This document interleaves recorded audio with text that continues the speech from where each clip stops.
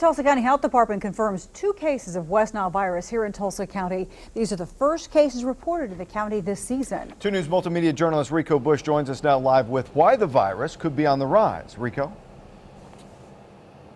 Well, Russ and Karen, the health department says the chance of getting the virus is still pretty low, but they're asking all residents to take precautions. They tell us we are still in the months for the highest risk of exposure to West Nile.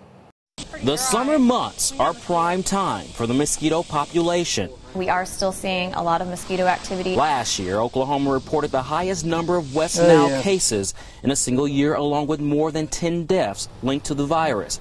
This year, Tulsa County health officials say they're taking the spread of the virus more serious.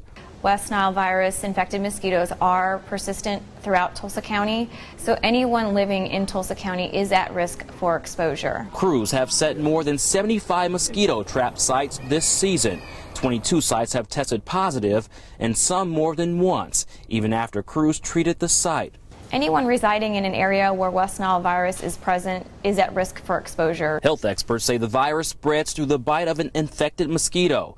To protect yourself, they recommend using insect repellent containing DEET and covering exposed skin. There is no cure for West Nile virus. There is just treatment of the symptoms. Um, most people, about 80% of those who are infected with West Nile virus, will have no symptoms. With recent rains, health officials say areas with standing water could become breeding grounds for mosquitoes and help put a deadly virus on the rise throughout Oklahoma. And, and, health experts say the threat of the virus will remain until that first hard freeze killed the mosquitoes that carry it. New at 6, who officials say got the virus. Reporting live in South Tulsa, I'm Rico Bush. 2 News works for you.